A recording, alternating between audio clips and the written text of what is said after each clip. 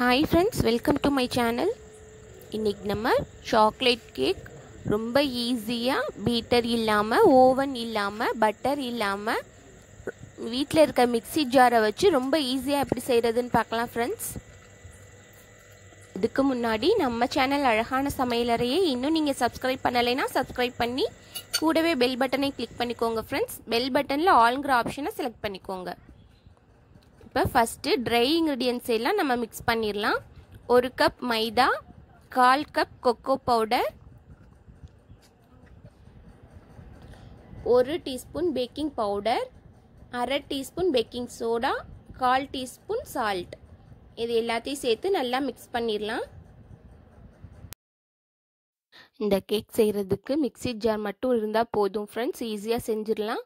Electric பீட்டர்லாம் தேவையே இல்லை. ஆனால் கடையில் கிடைக்கிற மாதிரி சாஃப்டான ஸ்பாஞ்சியான கேக் கிடைக்கும். இப்போ ட்ரை இன்க்ரீடியன்ஸை மிக்ஸ் பண்ணியாச்சு. ஒரு மிக்ஸி ஜார் எடுத்து அதில் ரெண்டு முட்டையை சேர்த்துக்குவோம். முட்டை சேர்த்ததுக்கப்புறம் முக்கால் கப் அளவு பால் ஒரு கப் அளவு சுகர் சேர்த்து நல்லா பீட் பண்ணி எடுத்துக்கிடுவோம் ஃப்ரெண்ட்ஸ் முட்டையை நல்லா பொங்க பொங்க நுர பொங்குற அளவுக்கு அடிச்சுக்கிறணும். பாருங்கள் இந்த மாதிரி. இதோட ஒரு கால் கப் அளவு ரீஃபைண்ட் ஆயில் சேர்த்துருக்கேன். வாசம் இல்லாத எந்த ஆயில் வேணாலும் சேர்த்துக்கலாம். ஒரு டீஸ்பூன் வினிகர் இது எல்லாத்தையும் சேர்த்து திரும்ப ஒரு தடவை பீட் பண்ணிட்டு வந்து மிக்சிங் பவுலில் சேர்த்துக்குவோம். நம்ம சாக்லேட் ஃப்ளேவரில் என்ன ரெசிபி செஞ்சாலும் அதோட கொஞ்சமாக காஃபி ஃப்ளேவர் சேர்த்தோம்னா டேஸ்ட்டு ரொம்ப சூப்பராக இருக்கும் ஃப்ரெண்ட்ஸ் அதுக்காக ரெண்டு டேபிள் ஸ்பூன் வெது வெதுப்பான தண்ணியில் ஒரு டீஸ்பூன் காஃபி பவுடர் கலந்து வச்சுருக்கேன். இப்போ ட்ரை இன்க்ரீடியன்ட்ஸை பாதி பாதியாக சளிச்சு சேர்த்துக்குவோம்.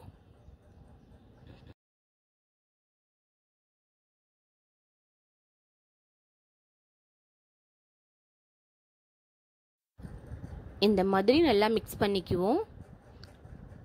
மிக்ஸ் பண்ணதுக்கப்புறம் மீதமுள்ள ட்ரை இன்க்ரீடியன்ஸையும் சேர்த்து இதே மாதிரி நல்லா மிக்ஸ் பண்ணிக்குவோம் ஃப்ரெண்ட்ஸ் ஒரே தடவையில் சேர்த்துட்டிங்கன்னா கட்டி தட்டிடும் அதுக்காக தான் பாதி பாதியாக சேர்க்குறது.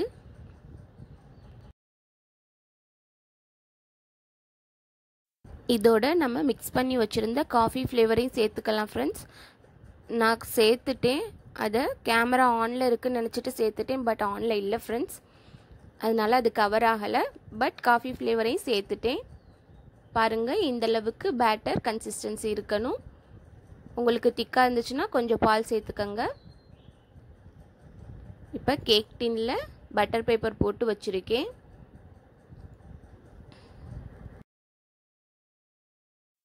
இந்த மாதிரி ரெண்டு தடவை டேப் பண்ணிவிட்டு நம்ம கடாயில் சேர்த்துடலாம். கடாய் பத்து நிமிஷமாக ப்ரீ ஹீட் ஆகிக்கிட்டு இருக்கு ஃப்ரெண்ட்ஸ் இதில் சேர்த்து ஒரு டுவெண்ட்டி ஃபைவ்லேருந்து ஃபார்ட்டி மினிட்ஸ் வரையும் ஆகும் ஃப்ரெண்ட்ஸ் லோ ஃப்ளேமில் வச்சுக்கோங்க. எனக்கு தேர்ட்டி ஃபைவ் மினிட்ஸ் ஆகிருக்கு கேக் நல்லா வெந்திருக்கான்னு பார்க்கலாம். இந்த மாதிரி ஒரு குச்சியை விட்டு பார்த்தீங்கன்னா ஒட்டாமல் வரணும். கேக் நல்லா வெந்துருச்சு. அடுப்பை ஆஃப் பண்ணிவிட்டு வெளியில் எடுத்து ஒரு பத்து நிமிஷம் நல்லா கூல்டவுன் ஆக விட்டு நம்ம வெளியில் எடுத்துக்குவோம். கேக் நல்லா சாஃப்டாக வந்திருக்கு. இதுக்கு மேலே டாப்பிங்க்கு ஒரு சிம்பிளான சாக்லேட் கனாச் செஞ்சுக்குவோம். அதுக்கு ஒரு ஹண்ட்ரட் எம்எல் பால் சேர்த்துருக்கேன். ஒரு டேபிள் ஸ்பூன் அளவு மைதா இல்லைன்னா கார்ன்ஃப்ளவர் ரெண்டில் எது வேணாலும் சேர்த்துக்கலாம். நாலு டேபிள் ஸ்பூன் சுகர் உங்களுக்கு சுகர் எந்தளவு தேவையோ அந்தளவு சேர்த்துக்கோங்க. ஒரு டேபிள் ஸ்பூன் கொக்கோ பவுடர் இது எல்லாத்தையும் சேர்த்து நல்லா கட்டி இல்லாமல் கரைச்சிக்கிறணும். அதுக்கப்புறம் தான் அடுப்பு ஆன் பண்ணணும். இப்போ நல்லா கட்டி இல்லாமல் கரைஞ்சிருச்சு. அடுப்பு ஆன் பண்ணிவிட்டு லோ ஃப்ளேமில் வச்சு இந்த மாதிரி ஸ்பேச்சுலா வச்சு நல்லா கிளறிக்கிட்டே இருக்கணும் ஃப்ரெண்ட்ஸ் இல்லைன்னா கட்டி தட்டிடும் இந்த அளவுக்கு கெட்டியானதுக்கப்புறம் ஒரு டேபிள் ஸ்பூன் பட்டர் சேர்த்துக்குவோம். பட்டர் இல்லைன்னா நெய் கூட சேர்த்துக்கலாம் ஃப்ரெண்ட்ஸ் உங்களுக்கு ரொம்ப கெட்டியாகிற மாதிரி தெரிஞ்சிச்சுன்னா கொஞ்சமாக பால் இல்லைன்னா தண்ணி கூட சேர்த்துக்கலாம் ஃப்ரெண்ட்ஸ் எல்லாத்தையும் சேர்த்து நல்லா மிக்ஸ் பண்ணி விட்டுக்கிட்டே இருக்கணும். இந்த மாதிரி ஸ்பேச்சுலா வச்சு செய்யுங்க. அப்போ தான் கட்டி தட்டாது. இந்த சிம்பிளான சாக்லேட் கனாச் ரொம்பவே டேஸ்ட்டாக இருக்கும் ஃப்ரெண்ட்ஸ் கேக்கோட சாக்லேட் கேக்கோட வச்சு சாப்பிட்றதுக்கு ரொம்ப டேஸ்ட்டாக சாக்லேட் ஃப்ளேவர்லே இருக்கும். சாக்லேட் சாப்பிட்ற மாதிரியே இருக்கும் ஃப்ரெண்ட்ஸ் கண்டிப்பாக ட்ரை பண்ணி பாருங்கள் இப்போ பாருங்கள் நம்மளோட சாக்லேட் கனாச் ரெடி ஆயிருச்சு. இது இருக்கட்டும் நம்ம இப்போ கேக்கில் ஒரு அஞ்சு நிமிஷம் கூலாக விட்டு இதை கேக் மேலே அப்ளை பண்ணிக்கலாம். இப்போ கேக்கை டிமோல்ட் பண்ணிக்கலாம். பாருங்க கேக் ரொம்ப சாஃப்டாக வந்திருக்கு. எக் சேர்க்க பிடிக்காதவங்களுக்கு நான் அடுத்தடுத்த வீடியோஸில் எக்லெஸ் கேக் செஞ்சு காமிக்கிறேன் ஃப்ரெண்ட்ஸ் இப்போ இந்த கேக்கை ரெண்டாக கட் பண்ணிக்குவோம்.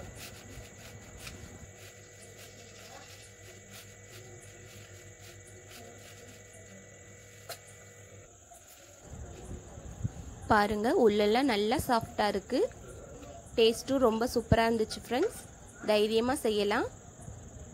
அந்த சாக்லேட் கனாச்சை நடுவில் கொஞ்சம் அப்ளை பண்ணிவிட்டு மேலே ஃபுல்லாக எந்தளவுக்கு கவர் பண்ண முடியுமோ அந்த அளவுக்கு கவர் பண்ணி சேர்த்துக்கலாம் ஃப்ரெண்ட்ஸ் இந்த சாக்லேட் கனாச் டைரி மில்க் சாக்லேட்டை மெல்ட் பண்ணி சேர்த்தா என்ன டேஸ்ட்டில் இருக்குமோ அதே டேஸ்ட்லேயே இருந்துச்சு ஃப்ரெண்ட்ஸ் கண்டிப்பாக ட்ரை பண்ணி பாருங்கள் இப்போ கட் பண்ணி காமிக்கிறேன் பாருங்கள் எந்த அளவுக்கு சாஃப்டாக இருக்குன்னு. பாருங்கள் ஃப்ரெண்ட்ஸ் இந்த வீடியோ உங்களுக்கு பிடிச்சிருந்தா இந்த வீடியோக்கு ஒரு லைக் கொடுத்துட்டு உங்கள் ஃப்ரெண்ட்ஸ்க்கும் ஷேர் பண்ணுங்கள் மறக்காமல் நம்ம சேனலை சப்ஸ்கிரைப் பண்ணி கூடவே பெல் பட்டனை கிளிக் பண்ணிக்கோங்க ஃப்ரெண்ட்ஸ் தேங்க்யூ